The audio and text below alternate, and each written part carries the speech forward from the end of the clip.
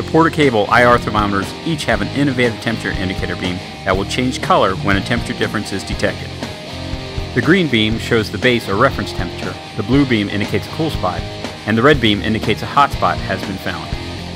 Infrared thermometers are very versatile and can be used to measure surface temperature, to compare the temperatures of two like objects, or to scan an area to detect temperature differences. One of the most common uses is identifying energy leaks around a building so that repairs can be made.